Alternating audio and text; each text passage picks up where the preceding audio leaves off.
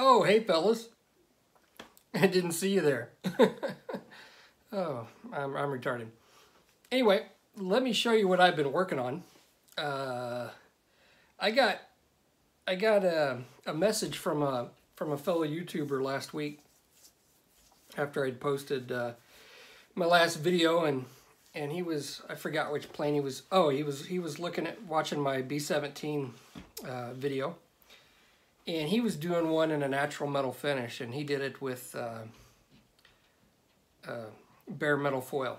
And he sent me some pictures and it looked incredible. And although I'm not uh, I'm not one for doing an entire plane with with bare metal foil just because I don't think that I have the skills to do that. Um, but I have done probably a dozen or so uh, natural metal finishes using like um, Alclads and uh, Extreme Metal. I really like AK's Extreme Metal products. But anyway, it got me uh, motivated to do my Tamiya 132nd scale P51, uh, which would be a natural metal finish. And so I started that last week and I got it done yesterday and uh, kind of wanted to show you the finished plane. So let's take a look at it. Here's the finished Mustang and I'm pretty proud of the base the uh, I had a hard time coming up with an idea of what I wanted to do with the base, and I had done some previously with like the stars and bars logo and some rivets. And I tried it with this one, and I just didn't like the way it looked, so I scrapped that idea. And, and yesterday morning, I I was perusing through some on the interwebs trying to get some ideas, and uh, came across some some old buy war bonds posters from World War II and I really liked the way they looked. And uh, you know, and, and some of them had this nice weathering effect on them. So what I did is I, uh, I, I used my Photoshop program, and I found a flag picture, threw it in there, and then created the wording around it, and uh, and made a mask with my my vinyl cutter, and and this is what I came up with. The the staining was all done with uh, sepia ink and water. And I just, after I got it all painted, my base paint colors down, I just took some uh, ink with, mixed with water and splashed it on there. And it came up with these this nice staining pattern. And then I went around with some, some NATO black and some browns and yellows and kind of uh, dirtied it up and weathered it up. And, and I really like the way it way it looks and it's it's fitting with this with the plane and how I have it weathered. Um, I really like doing this part of it. I mean, I like doing the, I like, I like modeling in, in general, but I really like creating, and, and this is what I consider like like an art piece. Um, some some may say it's not very good art, but uh, you know, I, I, think it's I think it's a cool piece, and, and this is kind of what I strive for when I when I build a model is just to have something that that's uh, that's appealing, and, and this is appealing to me. Um, when I when I before I got into modeling in my previous life, I used to do um, pop art posters or pop art prints, and how I would do that is I would take those are those are two of the first ones I've, I, I did.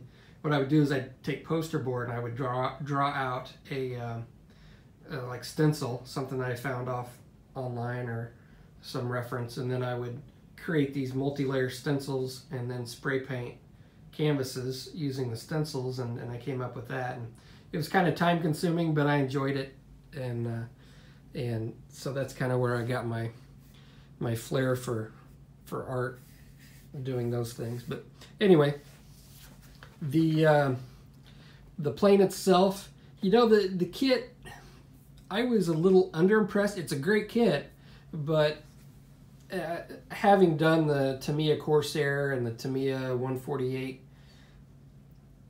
uh, F-14 Tomcat, this one didn't seem to go together quite as well.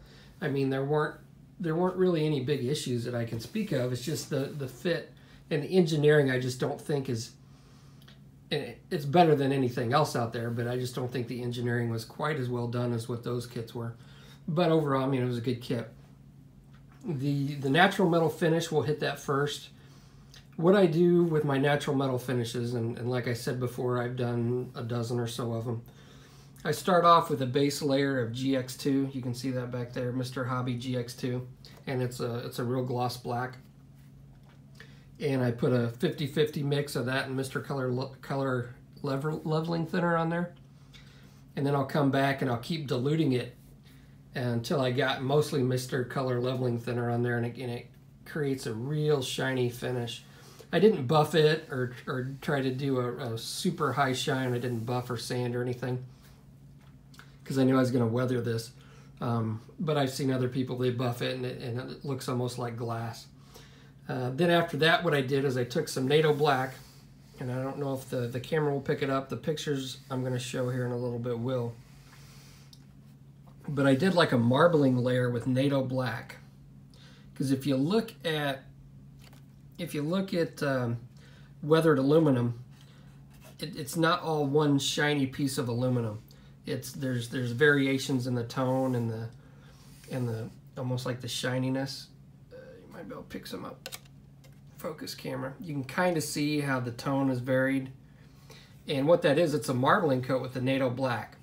Then what I did is I went, I sprayed um, a few coats of al light coats of alclad chrome, and those that marbling layer really shows through. Then what I did is I took some AK Extreme Metal Aluminum and then kind of went in and, and toned it down a little bit more. So I, and, and, and that way I, because the way I had it with the chrome, it was just too much. So the AK uh, Extreme Metal Aluminum toned it down. Then I went through and, and like the, the gun doors right there and over here and on the, um, the tail fin here and a couple different areas. I mask those off and paint them with uh, dark aluminum. Um, I think I did this flap in like a duraluminum and a couple other places, but um, I also did the stainless steel plate, plate or the steel plate or whatever they use for this. And I made a little bit more pronounced than what I've seen in pictures just because I wanted that to stand out. That's dark aluminum. And then I took some blue, um, Tamiya clear blue, some clear reds, some clear oranges, and Tamiya smoke. And I was able to get that like heat staining worn steel effect.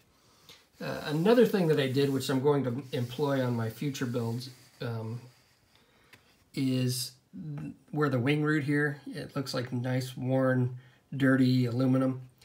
How I did that was I masked off the that portion of the wing right along right along here. And then I took my masking fluid and with a sponge and I just sponged in the mask, masking fluid along this wing root. Um, then what I took is like a dark aluminum. I might even have went darker. I might have went with like a metallic smoke or something. And I just sprayed over that.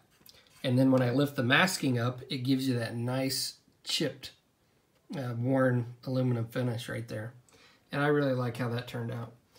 Um, all the, the lettering except for that, the, the tail fin's a decal from Warbird Decals, and so isn't the um, the nose art. That's all, those are decals from um, Warbird. Oh, and the uh, the pilot, Lieutenant Martin decal. Um, but everything else is painted on or wet transfer like these little stencils are all wet transfers. They're um, they're not as easy to work with, in my opinion, as decals, but obviously they there's no carrier film, so they do, they do give a, a little bit better of a look. The stars and bars insignia, those letters, the um, the uh, checkerboard pattern, And let's see what else. Uh, the rest of it's all painted. That I painted all those on. So there's no decal film to mess with. There's no trying to get them to suck down into rivets. And uh, I think that's the way I'm going to do it from now on, if at all possible, is uh, paint what I can paint on. The um, What else do we got? Um, this Tamiya kit, there's a lot of bells and whistles. The landing gear, you can have it up or down um, and interchange it. And that's just, for a static model, that's really nothing that I concern myself with. I closed up the landing gear. You can see that. But anyway, I closed up the landing gear, so um, I didn't even mess with any of that kind of crap. I did do some weathering along the bottom. Got some splash marks on there where the wheels would have splashed up dirt and stuff. And you can kind of see that marbling coat underneath. Underneath the plane's a little bit more prominent the way the light is showing. But um, the interior, I was going to put a pilot, but uh, I thought about putting a pilot. I wasn't going to put a pilot in there. So I did my, my scratch built uh, seat belts, and then I added a scratch built uh, pad back there, like a, a flotation pad. And uh, I did that with that uh, epoxy putty and our magic sculpt, and that turned out really well. And I didn't want to cover that up with a pilot, so I left it left it pilotless. There's anything else I can think of, uh, then just basically oil oil work. I didn't do a whole lot of oil work just around here. I did the panel lines with like a dark dark black panel line wash. And uh, it's not real significant, but it's there. The um, Just use some browns and some smoke colored stuff for the for the oil oil painting and a uh, little bit of streaking with some engine grime grease type oil paint colors. But uh, yeah, that's it. This is the finished P51 Mustang. And I'm pretty proud of it. I think it's a pretty cool display piece. I'm debating on whether to keep it or to put it on eBay. Uh, with, I don't know, for me, the like I've said before in my other videos, for me, the fun is in, in actually building it and creating something. So, you know, if somebody else can get some use out of it and and I can get some more money to buy more models, then you know, hey, it works for me. So I'll probably throw it on eBay. But anyway, here's some pictures and uh, thanks for watching.